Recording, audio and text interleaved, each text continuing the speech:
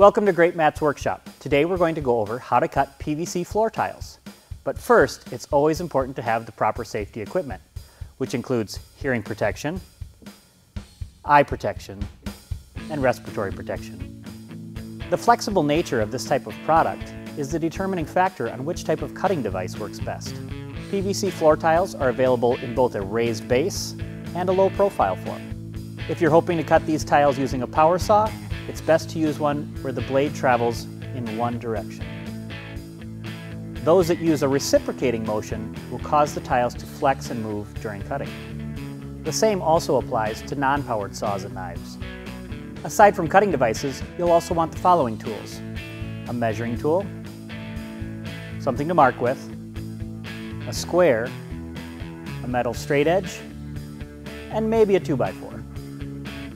Today we'll demonstrate why the motion of the cutting device is so important by using both power tools and hand tools. For all types of cuts, you'll want to start by measuring and marking where you'd like to cut your PVC floor tile. If you're simply looking to cut off the end of a tile, a T-square or a framing square will help you keep that nice 90 degree angle. One thing I find handy when marking where to cut on a PVC floor tile is to use a chalk marker because it has high visibility and the marks are easy to remove when you're done.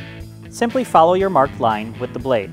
For a circular saw, push the saw along the line until you've completed the cut. The reason we wouldn't necessarily recommend a, a circular saw is that it can do something like this where it rips the tile. Like the circular saw, a miter saw or a chop saw isn't ideal for the job, but it can accomplish the task. You just have to keep in mind that since the blade is a little shorter, it won't go all the way through the tile, and so you'll probably have to cut from both sides. Pull the blade down through the tile.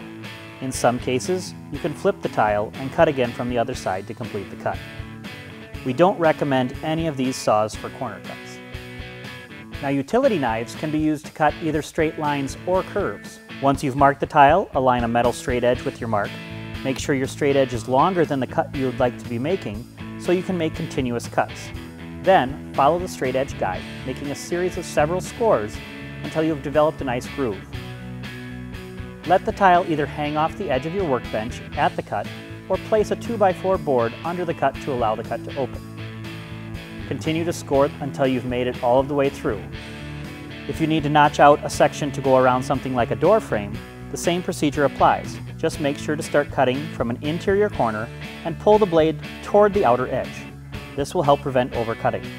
Now let's discuss why reciprocating blades can be problematic. Reciprocating blades are going to go up and down, which causes your tile to shake. If you need to cut a hole in a PVC tile, a hole saw is one option, but it may not leave the cleanest edge. In order to fit this hole around a pipe, we'll cut the tile right here with the utility knife. Periodically we do get questions about whether you can use a handsaw, like a hacksaw or a crosscut wood saw to cut PVC floor tiles. Here we're going to show why we don't recommend these types of saws for this purpose.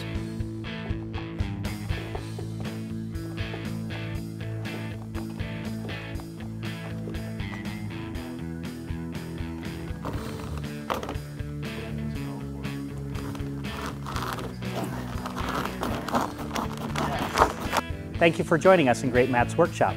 Be sure to visit our website for more information and sample options, or give us a call to speak with a knowledgeable sales associate.